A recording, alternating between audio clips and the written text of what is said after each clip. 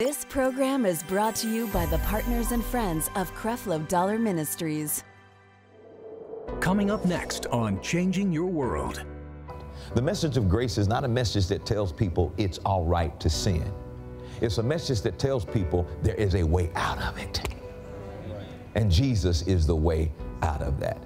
There is no way I am going to preach you condoning sin when Jesus died on the cross uh, for that sin.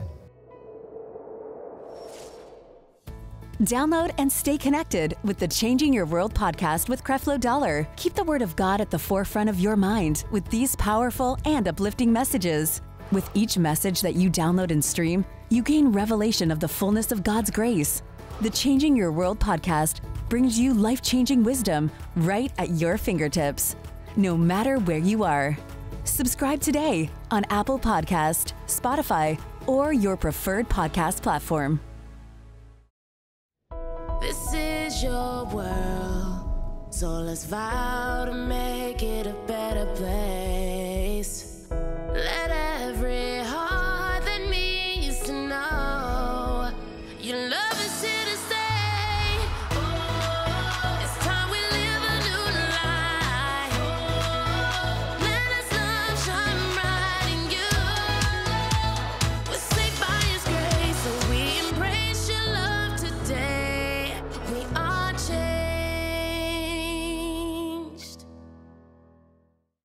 If you have your Bibles, go again to the book of Hebrews, chapter 10, verse 29. I'm going to read it in the Amplified.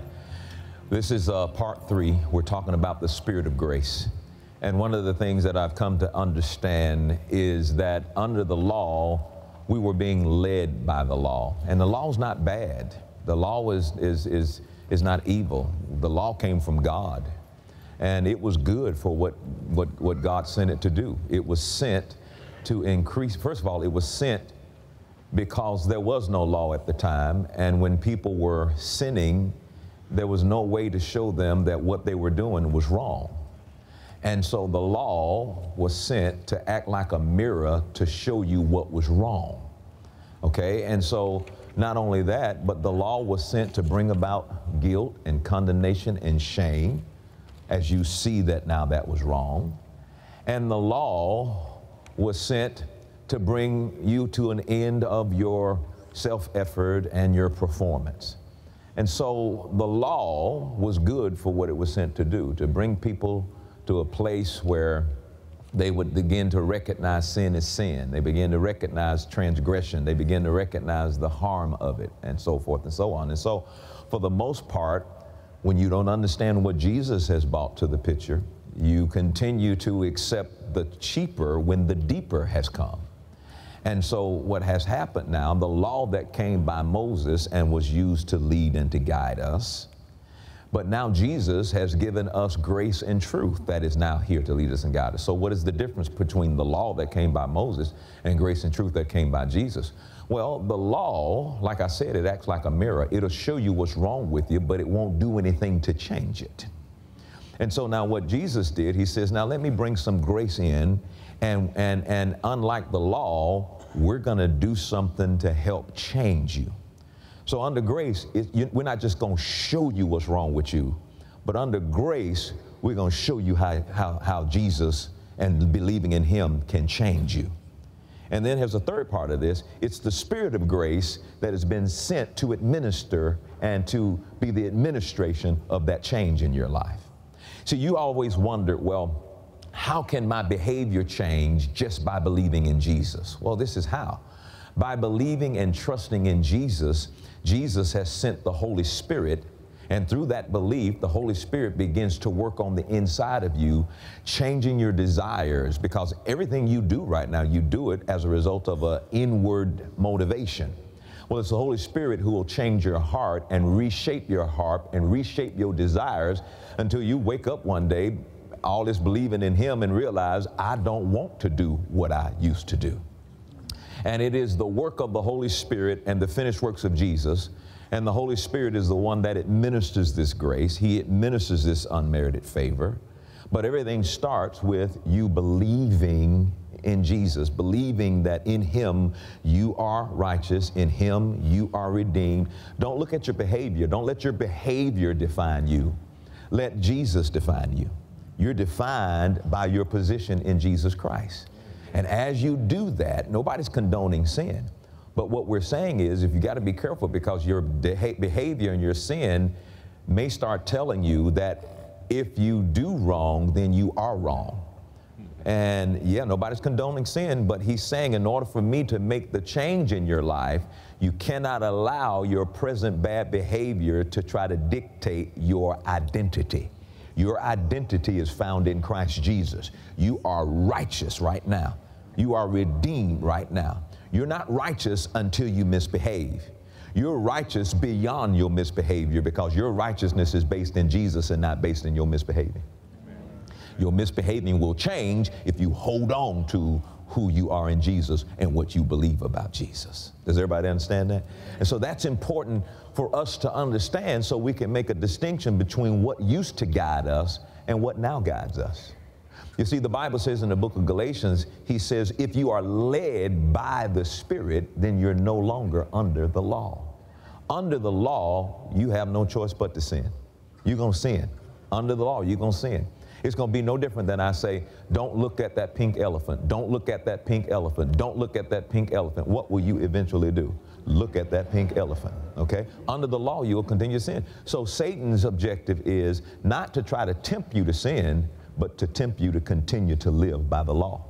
And if you are now under the grace of God and you go back to performing in self effort because you're trying to fulfill the requirements of the law, the Bible says you have fallen from grace because you've fallen back into the law. The law is not for a righteous man. It is for the man who still won't believe.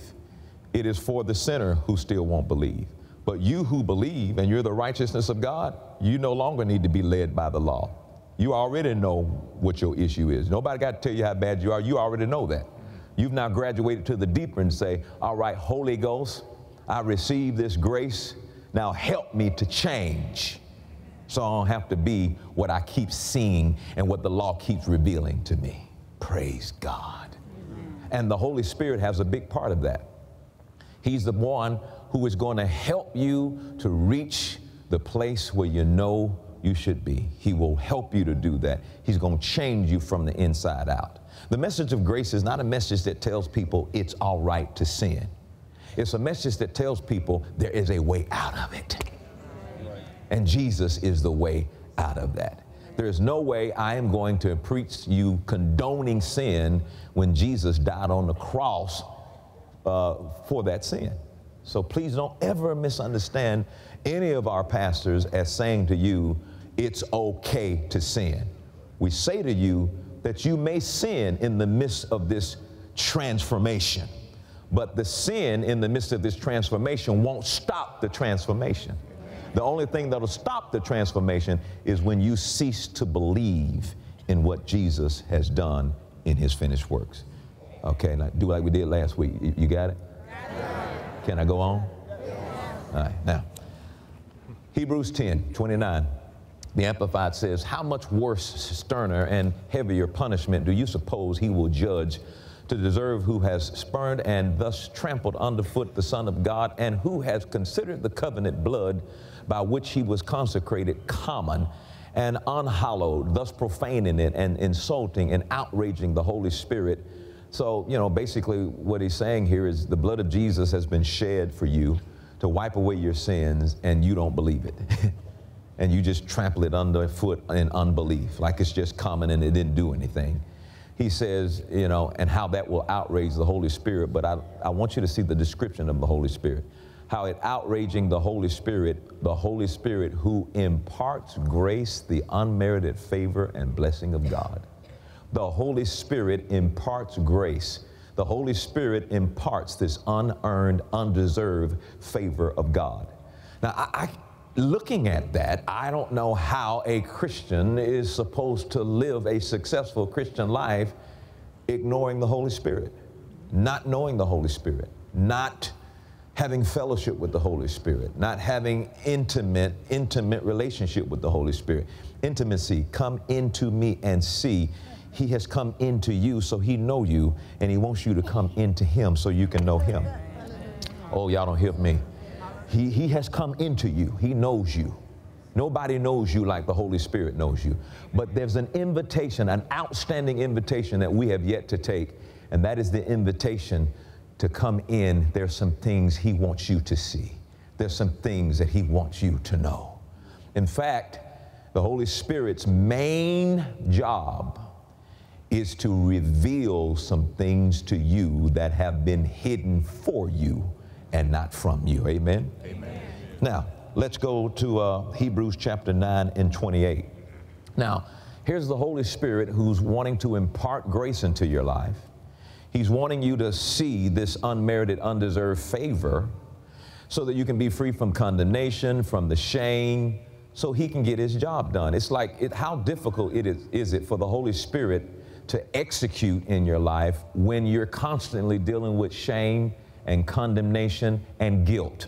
When you're constantly dealing with those things, man, it's just like, you know, you're, you're, you're, you, when you take on those things, you're making it difficult to receive from the Holy Spirit because again, that's probably evidence that you're, you know, going to be close to falling back into the dictates of the law because that condemnation and that shame and that guilt is there and it's moving you and it's leading you and it is directing you. And so I want to pick up this morning with the same question we left off with a couple of weeks ago and last week. Should sin be the central issue of life? Should sin be the central, central issue of a Christian's life? And the danger of making sin your focus, the danger of making your past sins your focus. See, you got to make you got to make a decision here. Either either you're going to know the importance of going forward, or you're going to keep going back. Everybody has a past. Say this with me. Say everybody has a past. Has a past. We just choose not to live there anymore. So the question is, have you made that choice? Everybody has a past, but you've got to choose not to live there anymore. Amen. And how many people you know who spend most of their day reflecting and living in their past? You've, you've got to understand what's on the line. What's on the line is there's a transformation going on in your life. That transformation being led by the Holy Spirit in your life. And how much of the time is that being blocked through you revisiting the law and the condemnation it brings and the guilt that it brings because you are focused on your behavior. You, what you should do is, is if something's going on with your behavior and you end up not behaving right, just thank God the Holy Spirit's working on me. I am being transformed. Now you're around a bunch of judgmental people who want to hold your past against you, and the, you got to take this this attitude. Okay, didn't do didn't have a good day today, but the Holy Spirit's working on me and somebody say, yeah, and I saw it. And you just need to remind them, he working on you too. You need some work too. You need some work too. You, you are not there. You need some work too. You might not need, we might not need work in the same area. That's right. Mm-hmm. But it's, it, what scripture say? It is God, Philippians, who is working in you, both to will and to do of his good pleasure. That literally means that it is the Holy Spirit that is working the proper desires in you. Mm-hmm. And, and, and, somebody says, well, what is the will of God? What is God's will? We got to accomplish and understand God's will. God's will is for you to what? Believe. Amen. His will is for you to believe. You've got to understand the power of you believing because when you can understand the power of you believing, then you can understand what the Holy Spirit is trying to accomplish in your life when, when you do that. I want to show you this in Philippians chapter uh, um, 2, verse 13 in the uh, NLT, the New uh, Living Translation. I didn't mean to go here, but it, but it came up. This is very important. It is so very important that you understand what's on the line when you got to stop focusing on sin. Sin should not be the central issue in your life. It should not be the central issue. But everything, I listen, not in a judgmental way, but I, I, wanted to test this theory. So I got up this morning and I just switched channels. And every channel I went to, the preachers were talking about sin. every one of them, it was talking about You need to just keep repenting of sin. I, I, I said, and when I, I said, Lord, he says, you see why this message is so important? Because if the focus is on sin instead of the focus being on Jesus, how can I ever help them to transform out of it?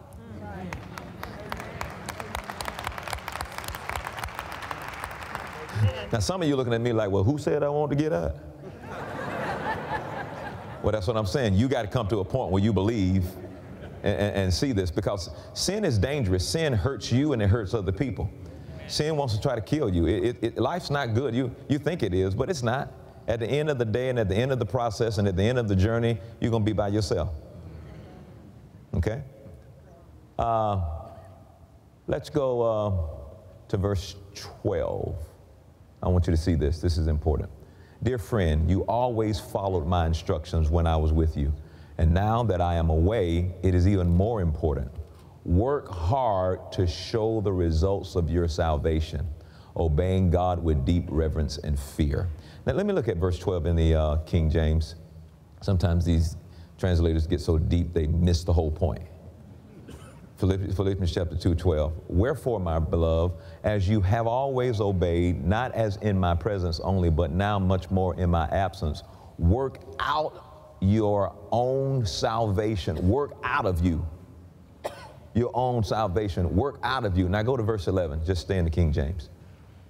I know I'm reading backwards, but it, it's, it's good and that every tongue should confess that Jesus Christ is Lord to the glory of God the Father. Verse 12. Wherefore, my beloved, as you have always obeyed, not as in my presence only, but now much more in my absence, work out your own salvation with fear and trembling. Now, you have to be careful because that'll make it feel like it's, it's, it's something you doing. Okay? Now, watch this verse, next verse. He says, For it is God which worketh in you. Come on now. Somebody said, well, that say God. That's, that, that didn't say the Holy Ghost. Listen, God is the Holy Ghost. The Holy Ghost is God. Jesus is the Holy Ghost. Jesus is God. Jesus is, they're all one. They ain't no, don't be splitting them up. There ain't no three people here. It's one God uh, revealing himself three different ways revealing himself three different ways. And here with us, he will reveal himself as the Holy Spirit. It is God, the Holy Ghost, which is working in you. And what is he doing in you? Both to will and to do of his good pleasure. Now look at verse 13 in the Living Translation. He, he's working in you. Say out loud, the Holy Spirit's working in me. The Holy Spirit's working in me. He's working in you right now. Now, now you got to believe that. Now look what he says. For God is working in you, giving you the desire and the power to do what pleases him. That's awesome. What is the Holy Spirit doing? He's working in you, shaping your desires now from where they were to where they need to be and He's working in you, giving you the desires so you can do what pleases Him. That's powerful. So I'm not going to take any credit for my doing because my doing is going to be a result of His work.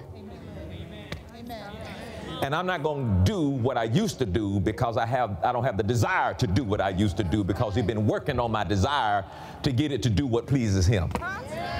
See, what we've been doing is we've been working trying to change our desires we've taken a more of a psychological approach to try to change our desires.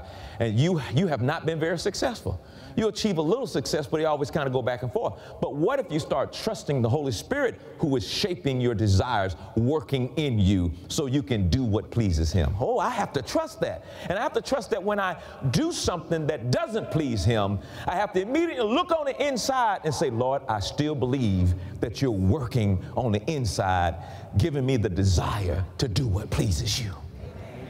Ah, that's the work of the Holy Spirit. That's the work of the Holy Spirit. But if we keep, you know, trying to come up with little ways of things that we do, ah, man, this is tough to say, but dear God, I've been working on trying to say this for the last 10 years, so I think I'm going to go ahead and release it right now. You trust more in your discipline than you do the discipline of the Holy Spirit. Wow. Discipline has its place but not ultimately in changing your desires so that you can do what pleases God. If I can make confessions 10 times a day, if I can discipline myself to pray an hour a day, if I can discipline myself to do these different things, but then you're never trusting in the Holy Spirit's work in you, You follow what I'm saying? You may achieve some actions from that, but I've not known people to be able to keep it all their lives. Eventually, when something stronger than what they've worked on shows up, they're back in the same place again. But I'm talking about the Holy Spirit that when He changes your desire, old things are gone, new things are here. And it's not like you're, the Holy Spirit can change your desire to a point where you don't even want it no more. Watch this, and it's not even a temptation no more. The Holy Spirit can bring you to a point where it's not a temptation no more.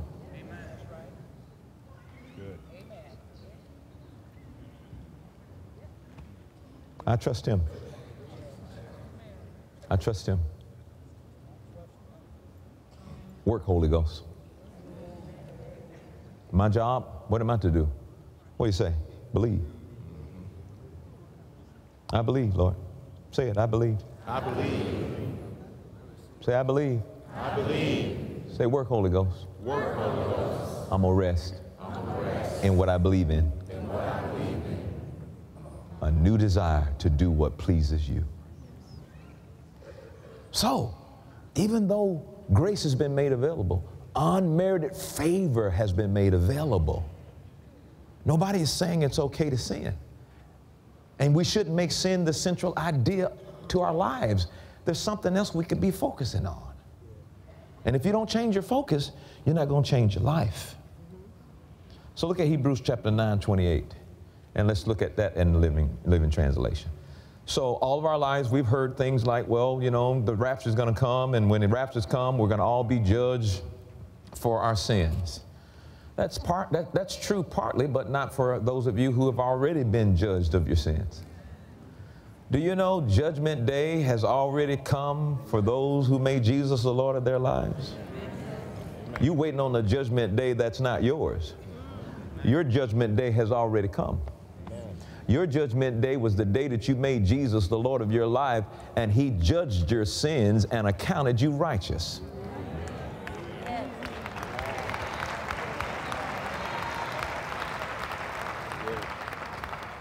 And we think Jesus is going to come back to deal with sin. In verse 28 in the New Living Translation, read this, man.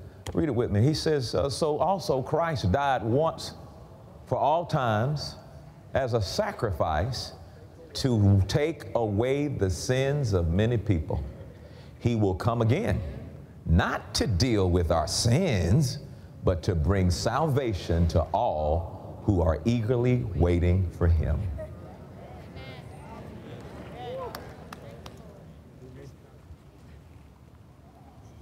Should sin be the central issue of our lives?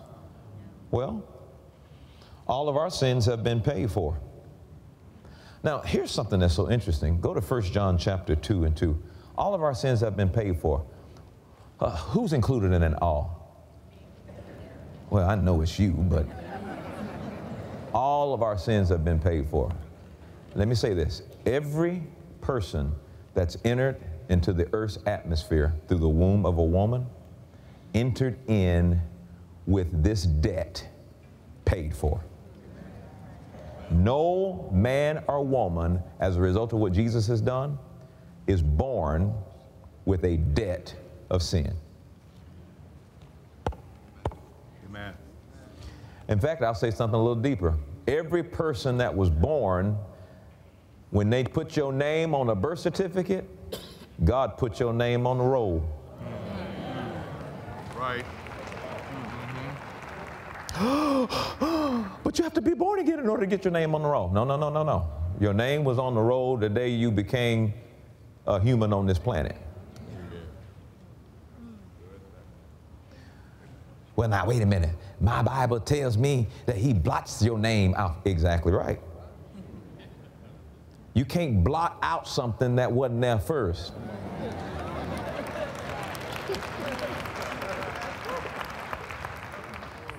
But why would the Bible even talk about blotting your name out of the Lamb's book of life? Because obviously you died never responding to the payment plan. You died, you had a whole life to sign up for Jesus insurance. And you were deceived all your life about being born again, and you died rejecting Jesus. And when you were dead and you died without Christ, they said, Man, that's bad. Got to blot his name out.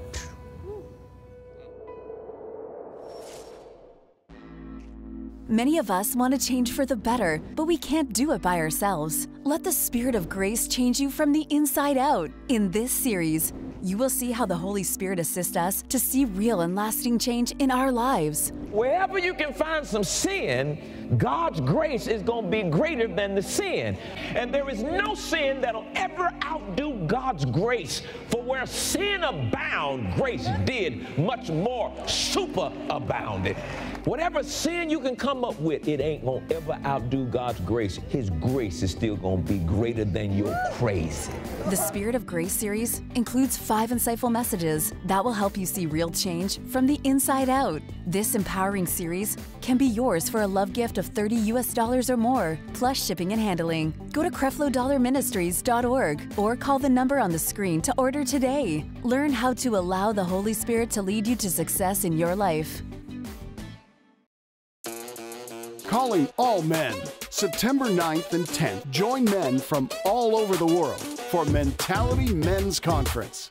Our real authority is in our intimate relationship with God. You don't want to miss this free conference. Register now. Text Mentality to 51555 or scan the QR code on your screen. We came from God, gentlemen. If anybody needs to have a relationship with God and understand God, we should. We should be going around on our face, crying out before God. See you September 9th and 10th with Creflo Dollar. We should be the guys lifting our hands up in praise service. We should be closer to God than anybody. Everybody in our family is nourished by us. Visit CrefloDollarMinistries.org and grab your free seat. Register now.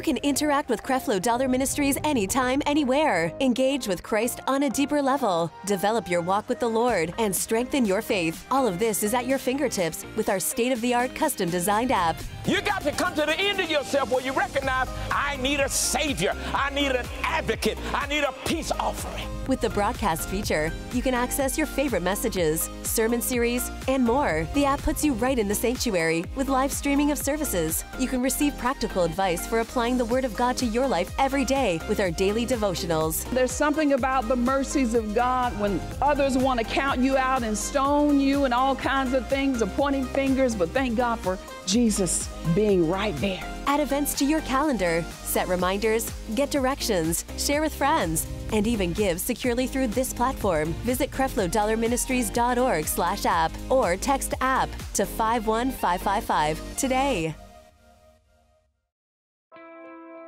The preceding program was brought to you by the partners and friends of Creflo Dollar Ministries.